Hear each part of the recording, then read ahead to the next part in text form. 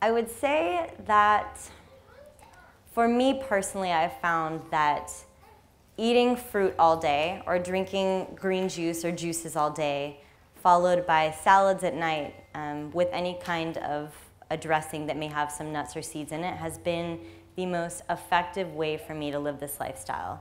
And I've not had any issues in 13 years. Um, and I know that it can be difficult to do that, but when I'm traveling, the first thing that I always do at any place is I go and I find a grocery store and I buy a box of fruit and then I keep it in my hotel room and I find that I have more time to enjoy the place and the people that I'm visiting than if I focus all my attention on just seeking out food all the time and eating simply. And I know people think that you don't get enough variety or you get bored eating fruit all the time. But for me, I think the average person tends to eat the same meals all the time anyways.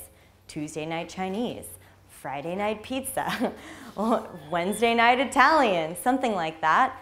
But with this lifestyle, I get to eat over 200 different varieties of fruits and vegetables every single year. For me, that gets really exciting, especially if you're getting to prepare your own food and make your own salads and connect with your food.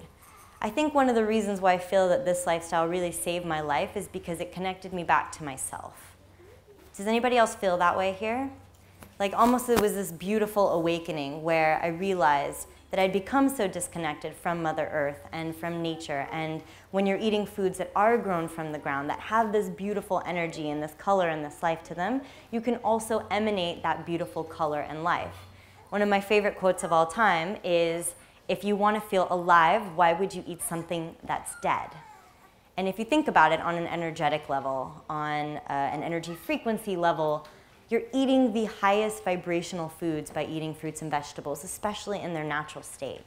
And for me, that was mind blowing because I kept thinking to myself, well, if I keep eating raw all this time, then that means like my energetic frequency is always going to be raising. I'm always going to have the most energy and I'm always going to feel my best. And then I can really impact more people that way. Yes? No? Maybe so? I know um, something that I'll talk a little bit in future um, future lectures is the mental health aspect of, of eating this way. I know a lot of people get into this because either, it, obviously it's an ethical reason, but I did see some health people in here as well. Um, they're very interested in how they look, their physical appearance. They want to lose weight, they want to feel better, they want longer, shinier hair. I didn't mean to do that, I just did it though. Um, longer, shinier hair, um, clear skin. It's like you can go through the physical benefits of this all the time. And even though most people who do this long enough, they will experience those things, for me, I found that the most profound thing that I have learned from this is self-love. Um, most people don't know what it means to truly love themselves. And I struggled with it my entire life. Always being like the third one in my family, never feeling good enough, cried when I made a B, perfectionist type A personality. I never knew what it was to completely accept myself.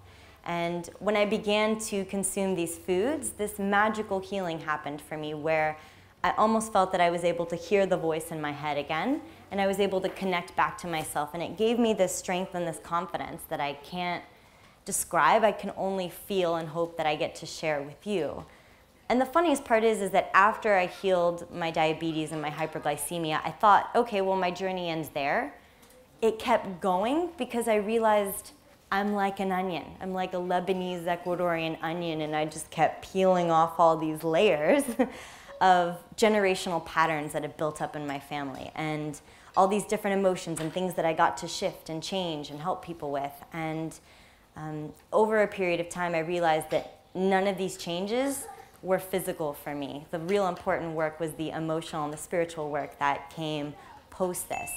And so sometimes I joke and I say that raw food was my gateway drug into self-love uh, because the physical aspects, after you do this for a long period of time, the connection that you really want to have is with yourself.